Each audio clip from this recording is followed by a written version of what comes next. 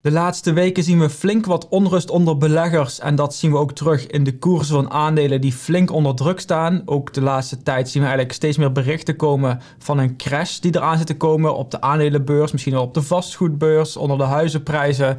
En misschien is dat dit jaar al, maar waarschijnlijk zeggen de meesten komt dat eraan in 2022. Maar is deze crash eigenlijk al niet al een tijdje geleden begonnen. Alleen hebben we het dan misschien nog niet helemaal doorgehad. En deze video even kort samengevat komt erop neer dat eigenlijk de top 5 aandelen van een index het vaak heel erg goed doen. En dat de rest het juist een stuk minder doet, wat dus een vertekend beeld geeft van die index. Dat de hype-aandelen, de meme-aandelen, die juist eerder dit jaar heel erg populair waren, dat die nu flink in de min staan inmiddels aan het einde van het jaar. Maar dat de hype daar soms nog wel is rondom deze aandelen. En natuurlijk dat niemand kan voorspellen wat er gaat gebeuren, wanneer het gaat gebeuren. Ook ik niet. Maar het is denk ik wel heel belangrijk om af en toe een stapje terug te doen. Te kijken wat er gebeurt op de beurs. Wat we hebben zien gebeuren in het verleden. Daar naar te kijken, daarvan te leren. En dat is ook wat ik wil doen in deze video. Leuk dat je kijkt naar weer een nieuwe video van een passiefinkomen.nl. Op dit kanaal werken we aan een toekomst met meer vermogen en meer vrije tijd. En de laatste tijd ben ik eigenlijk zelf al bezig om mijn portfolio wat bij te werken, wat op te schonen, wat te verbeteren. En ook wat ik er nu misschien ook alweer anders tegenaan kijk dan dat ik een paar maanden geleden heb gedaan. Dit is mijn portfolio bij de Giro op dit moment. Wil je zelf nou trouwens ook nog beginnen met beleggen? Ben je op zoek naar een broker? Kijk dan ook zeker eens naar de Giro. Maak gratis een account aan via de link onder deze video. Op die manier help je ook nog eens het kanaal, dus dat wordt altijd gewaardeerd. Maar zoals je hier misschien kunt zien, heb ik de laatste maanden eigenlijk al een groot gedeelte eerst van mijn Tesla-aandelen verkocht. En afgelopen week heb ik bijvoorbeeld mijn positie in Europcar verkocht. Ik doe dit omdat ik meer overzicht wil in mijn portfolio door minder posities te krijgen. Maar ik wil ook af en toe gewoon winst nemen uit losse aandelen. En dat juist investeren in brede ETF's, zoals bijvoorbeeld Vanguard met hun VWRL-ETF. En ik doe deze veranderingen omdat natuurlijk mijn portfolio groter wordt. Maar natuurlijk ook omdat ik ja, al veranderingen in de markt zie. Maar ook verwacht dat er nog andere veranderingen aan zitten te komen. Ten eerste, zoals gezegd, we hebben te maken, mijn portfolio wordt groter. Eerst is mijn vermogen heel erg gegroeid. Nu komen we ook in een fase dat ik dat vermogen niet alleen verder wil laten groeien, maar juist ook vooral wil zorgen dat ik het ga behouden als er iets gaat gebeuren op de beurs. En als we dan gaan kijken naar losse aandelen, de hele index, dan ziet het er helemaal goed, ziet het er vaak heel erg goed uit. Maar als we gaan kijken naar losse aandelen, zien we vaak een heel ander verhaal. Dat viel mezelf ten eerste heel erg goed op bij mijn ARK ETF's. Die uh, heb ik eerder dit jaar, aan het begin van het jaar, gekocht via eToro. Die staan inmiddels nu allemaal zo tussen de 10 en 38 procent in de min. Ik heb ze dus eind februari gekocht. Uh, toen was er al een 15% daling vanaf de top geweest. Op dat moment ben ik ingestapt. Maar alsnog dus deze grote verliezen tot bijna 40%. En dit waren natuurlijk de ETF's met bedrijven die heel populair waren. Eigenlijk in de eerste 12 maanden van corona. De ARK-K ETF bijvoorbeeld ging van 33 dollar naar 160 dollar in iets meer dan een jaar tijd. Bijna een verviervoudiging. Maar sinds de top eerder dit jaar dus is hij ook alweer meer dan 40% in de min. En misschien denk je dan van ja, dit zijn een paar aandelen. Dit zijn juist de bedrijven zoals diegene die hier in de ARK ETF zitten, die, daarvan, ja, die daarmee te maken krijgen. Maar dat is eigenlijk niet per se het geval. We zien eigenlijk nu een beetje een splitsing op de beurs. De laatste tijd krijg ik veel notificaties van aan de ene kant nieuwe records, nieuwe all-time highs van aandelen zoals Microsoft, Apple bijvoorbeeld. Maar we zien juist ook heel vaak uh, 52-week lows, oftewel het laagste punt in het laatste jaar is op dit moment. En dat zijn dan bijvoorbeeld de aandelen zoals Alibaba, Square of Pinterest. Dus we zien eigenlijk, ja, sommige bedrijven doen het heel erg goed, tikken nieuwe records aan, terwijl heel veel andere bedrijven op het laagste punt van de 12 maanden staan. Dus we zien eigenlijk een groot verschil tussen ja, de bekende namen, vaak grote bekende uh, aandelen waar het om gaat. En als we dan kijken naar de indexen, dan lijkt het juist heel erg goed te gaan. Kijk naar onze eigen AEX-index, die staat dit jaar 27% in de plus. Kijken we naar de S&P 500, de 500 grootste bedrijven van Amerika, ook die staat zo 25% in de plus. En de Nasdaq 100, oftewel de 100 grote bedrijven, techbedrijven van Amerika, die staat ook 27% in de plus. Dus ja, het ziet er heel goed uit, maar dan moet ik er ook meteen bij vertellen dat die groei juist komt door eigenlijk maar een paar bedrijven in zo'n index. Kijk bijvoorbeeld naar de Nasdaq, dus zoals gezegd een index met 100 technologieaandelen uit Amerika.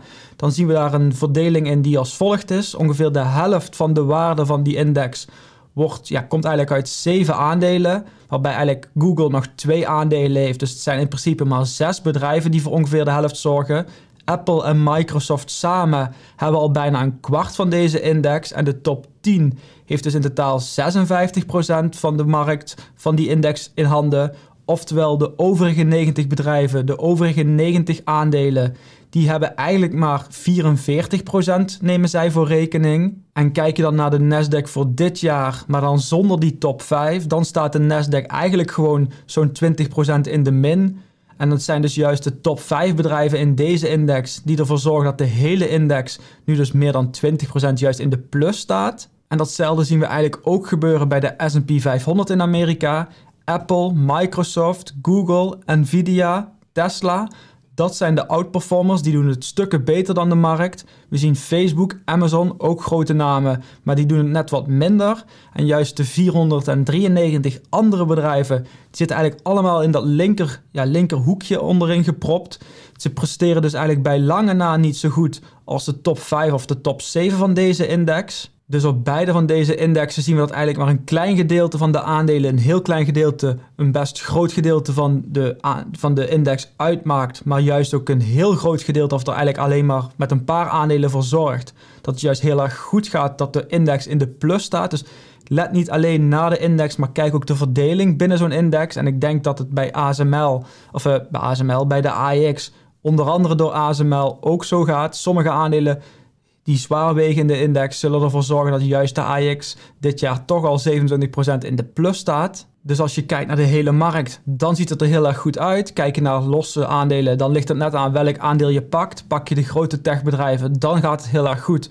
Pak je heel veel van deze hype-aandelen, van deze meme-aandelen, dan gaat het juist helemaal niet goed. Maar het is niet zo dat de hype nu al over is, want we spreken nog steeds op dit moment van meme-aandelen die gewoon populair zijn. En sinds halverwege dit jaar is er zelfs ook een meme-ETF. De ETF heeft tickersymbol meme.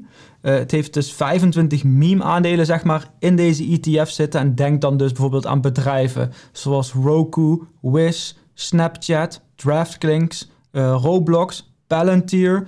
Bedrijven met heel veel beloftes, maar al die beloftes liggen nog in de toekomst. Terwijl ze op dit moment vaak heel weinig omzet hebben en nog helemaal geen winst. Maar nu we dit weten, hoe moeten we dan nu verder vanaf dit moment? Nou, ten eerste kan niemand de toekomst voorspellen. Uh, kan niemand ja, eigenlijk precies zeggen wat er gaat gebeuren. Ook ik niet. Kijk bijvoorbeeld naar gisteren, naar het wereldkampioenschap, uh, de Grand Prix, de Formule 1. Dat Max kampioen zou worden, hadden heel veel mensen gedacht. Maar ik denk de manier waarop het uiteindelijk is gebeurd, dat dat eigenlijk bijna niemand het zo had kunnen voorspellen. Dus je ziet wel, als het gebeurt, gebeurt het vaak op een andere manier, op een ander moment dan dat jij van tevoren eigenlijk voor ogen had. Maar wat we nu eigenlijk al wel weten en wat we eigenlijk ook al zien gebeuren, want een groot gedeelte van de markt heeft het denk ik al in de gaten gehad, heeft die transitie eigenlijk al gemaakt. Dus aan de ene kant dat de rentes waarschijnlijk volgend jaar zullen gaan stijgen. Dat heeft impact op heel veel van deze meme-aandelen, van deze uh, hype-aandelen van deze bedrijven waar eigenlijk alle winst uh, in de toekomst ligt. Omdat juist als de rentes gaan stijgen en de winst ligt in de toekomst, dat op dit moment minder waard is, waardoor de, eigenlijk de aandelen op dit moment ook minder interessant zijn. Terwijl het dus juist die andere aandelen zijn, die top 5 die we net zagen met Apple, Microsoft, Tesla, dat soort bedrijven die nu wel al winst maken. Dus die eigenlijk als je zo gaat kijken, een slimmere investering zijn op dit moment. En daarom zijn het ook deze bedrijven nu, die nu allemaal telkens die nieuwe records vestigen. En wat ik nu dus al doe, is bijvoorbeeld winst nemen op aandelen die al heel veel winst hebben gezorgd voor mij, waar ik heel veel rendement op heb gemaakt. Juist op deze groeiaandelen die lange tijd populair zijn geweest, zoals Tesla bijvoorbeeld. Ik gebruik dat geld juist om weer in andere aandelen te investeren, maar ik ga ook juist heel veel posities sluiten, zodat ik meer overzicht krijg van mijn portefeuille, dat ik het beter in de gaten kan houden, omdat ik denk dat dat ja, ook heel belangrijk is. Ik kan niet alles van alle bedrijven bij gaan houden. Van die aandelen die ik verkoop, van de posities die ik sluit, dat geld investeer ik niet allemaal. Een gedeelte daarvan uh, investeer ik in brede ETF's, zoals VWRL bijvoorbeeld. Die dus juist ja, voor de lange termijn vind ik dat een interessante optie. Dan hoef ik ook niet alles bij te houden. Maar ik hou ook zeker een gedeelte achter de hand. Dat, ja, ik wil gewoon profiteren van mocht deze correctie zich doorzetten, mocht er een crash aankomen, dat ik dan in ieder geval geld heb om te profiteren van dat soort momenten. En ik onderzoek mijn aandelen op dit moment gewoon nog beter. En ik maak voor ieder aandeel dat ik heb of wat ik interessant vind ook een waardering via mijn nieuwe tool beleggertools.nl. Hier heb ik onder andere berekend dat ik denk dat Tesla op dit moment tussen de 700 en 800 dollar waard is. Op basis van verschillende scenario's voor de toekomst. En dat is ook de reden geweest dat ik een gedeelte dus van mijn Tesla aandelen heb verkocht. En als je dit zo ziet, dan zou je misschien denken van is het dan niet slim om even te wachten, om er geen geld in de markt te stoppen? Ik denk dat dat niet het slimste is. Als je precies weet hoe de markt gaat reageren, dan is dat een optie, is dat de beste optie. Maar zoals gezegd, ik denk dat niemand precies kan voorspellen wat er gaat gebeuren. Dus um, ja, alleen om die reden al zou ik altijd in ieder geval wel zelf in ieder geval uh, blijven investeren in aandelen. Alleen misschien net iets minder. Of in ieder geval zorgen dat ik genoeg geld dus in een buffer heb zitten om juist te profiteren van eventueel een crash maar als je gaat kijken, kijk dan vooral naar welke looptijd, welke termijn wil je aangaan. Beleg jij voor de komende 12 maanden of de komende paar jaar?